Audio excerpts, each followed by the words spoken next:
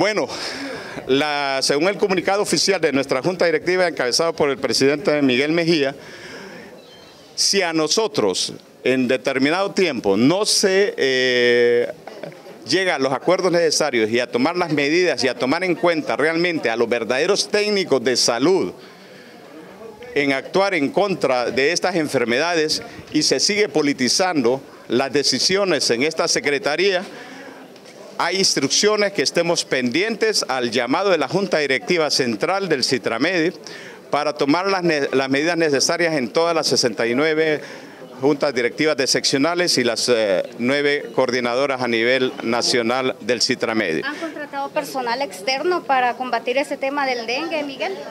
Sí, lo que pasa es que hay que hablar claramente de diferentes cosas. Primero, asegurar asegurar la promoción y prevención era antes.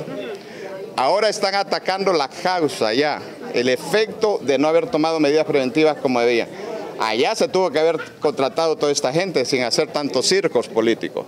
Allá eh, ya no anda un presidente, allá tuvo que haber andado el presidente tirando la larvicida en las pilas, ¿verdad? Allá tuvo que haber andado eh, las autoridades hace ocho o nueve meses tirando y fumigando no andar tirando lagrimógenas, porque con lagrimógenas no se mata el zancudo adulto, es con fumigaciones y químicos.